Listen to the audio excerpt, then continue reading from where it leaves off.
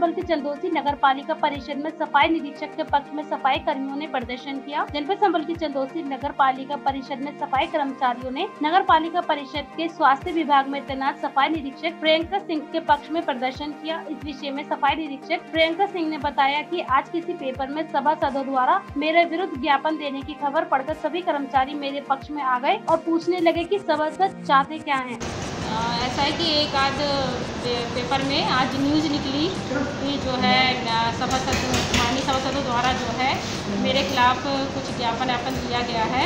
जिसको पढ़कर कर्मचारी सारे आज यहाँ ऑफ़िस में इकट्ठा थे। जब हम आए तो देखा तो सभी लोग इकट्ठा थे और उन्होंने कहा कि क्या बात हो गई मैम, ऐसा क्या वो हो गया? जो सभासद मतलब क्या चाह रहे हैं आपसे? तो उसी को लेकर के थोड़ा सा आक्रोश है हमारे कर्मचारियों में भी।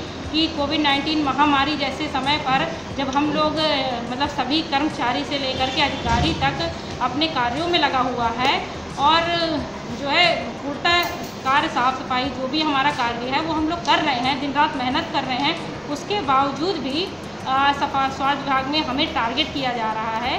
तो उसी को लेकर के सब लोग इकट्ठे थे।